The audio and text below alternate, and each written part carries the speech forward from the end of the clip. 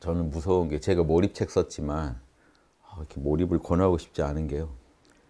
포커스를 하나 맞추면 잠을 안 재워요. 계속 막 아이디어가 오거든요. 그래서, 그래서 몰입이라는 게 이런 거지. 포커스 하나 맞춘 거예요. 그래서 정신을 깨어, 깨어 있는 정신으로 어딘가 여러분이 전, 대상에 의미 있는 포커스를 맞추면요.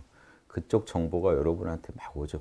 주식을 하나 사놓으면 그럼 그 가만히 있을 수 있겠어요? 뭐그 길에서 누가 하는 얘기도 여러분이 집중하죠. 그리고 자꾸 마음에 품고 있으니까 또 아이디어가 나오고 좋은 생각들이 무의식 중에도 계속 조합이 일어나요. 그래서 몰입만 잘 되면 아이디어는 감당할 수 없게 옵니다. 그래서 그 저도 괜히 몰입 하나 해놓으니까 왜냐면 이제 강의를 해야 되니까 몰입 안 할 수가 없고 원불교 분들한테 이왕이면 좋은 거 드리고 싶어서 이왕이면 자명한 진리 그동안 또 생각 못 해본 거 그거 드리고 싶어서 마음을 내니까 그냥 자다가도 탁 일어나서 또 컴퓨터 켜서 수정하고 다시 자고 놀다가도 딱 아 이건 이게 자명해 그래서 이게 또 이걸 이런 정보를 공유하면 얼마나 또 서로 좋을까 이런 생각이 끝도 없이 나더라고요. 몰입과 몰입 사고라고 제가 강조하죠. 몰입을 하면 계속해서 그 몰입 상태에서 자명한 사고를 하면 대신에 아이디어가 온다고 다 끌려가면 안 되고 뭐가 자명한지 빨리 양심 분석, 자명 분석해서 취할 거 취하고 찜찜할 찜찜해 할 거 찜찜해 버리면요. 이러면 속도가 빨라집니다. 근데 이게 아이디어가 왔을 때요. 자명 찜찜 분석을 안 해주면 모호한 채로 애들이 가요. 그런데 아이디어가 왜 무섭게 오냐면요. 몰입 포커스를 맞춘 다음에 아이디어가 오는데 자명 찜찜 분석을 계속 해주면 오는 대로 요리를 해주면 바로 또 그 다음 게 또 옵니다. 이게 자명하다고 해놨으니 여기서 파생된 또 다른 자명이 와요.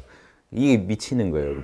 오는 대로 요리를 할수록 더 옵니다. 그러니까 이게 꼭 어떤 분야만이 아니라 이런 철학 공부를 할 때도 계속 분석을 해 가셔야지 자명 분석 깨어 계시고 몰라 괜찮아로 깨어 계시고 자명한 분석을 계속 해 주시면 무섭게 여러분 좋은 생각들이 나오고 또 제 강의를 들으시면 또 계속 자극받게 돼 있거든요. 생각 안 하시려고 해도 몰입 상태에서 제 강의를 들으면 또 재료가 막 오잖아요. 그러면 이것도 분석하다 보면 또 자명한 거 하나 취하면 또 그 환희의 희열이 오고 거기서 또 파생이 돼요. 그래서 이제 야 난 이거 얻었다 보물 얻었다 신난다 그러면 또 와요 다음 게. 그거 알았으면 이거 알아야지 하고. 이런 식으로 하다가 여러분 중독되는 거죠. 멀리 가신. 그래서 돌아오지 못할 정도까지 가면 큰 보살이 되신. 다시는 이제 이런 사바세계 못 들어온다는 게 아니라 이런 식 사고에 이제 적응 못 합니다. 이런 깨어서 사고하는 데 익숙해지고 그 반야로 반야바라미를 쓰는데 선정과 반야를 쓰는데 익숙해지고 우리말로 하면 이제 몰입과 몰입 사고에 익숙해지고 일반적인 이런 탐진치 끌려다니던 사고에서는 벗어나 버려요. 그종 그게 돼야 보살이 되죠. 어, 만약에 여러분 보살이다 그러면 사람이 착하고 뭐 이렇게 뭐 모난 데가 없고 뭐 말은 다 좋은데요. 그 말들 안에 지혜가 없으면요. 그냥 범부 중에 착한 범부 지금 이런 거예요. 고등 침팬치 중에 되게 유순한 고등 침팬치는 가능한데요.